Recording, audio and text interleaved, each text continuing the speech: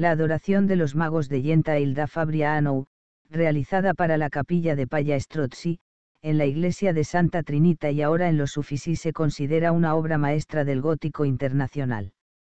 Junto con la huida a Egipto es considerado su mejor trabajo.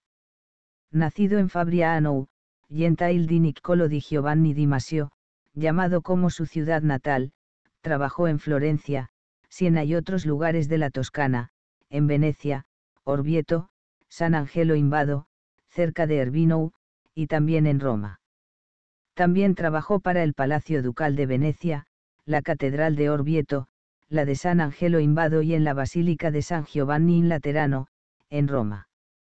Muchas de sus obras se perdieron, incluyendo aquellas para el Palacio Ducal, donde fue asistido por el joven Pisanello, 1395 a 1455. Fabria Anou formó artistas prometedores como Jacopo Bellini, 1396-1470, e influyó en pintores como Fra Angelico U, 1400 a 1455. Tanto Bellini como Fra Angelico U se convirtieron en grandes artistas del Renacimiento del siglo XV, junto con Masaccio, 1401 a 1428. Fabria Anou era muy famoso por su estilo elegante y decorativo, y por su luz suave.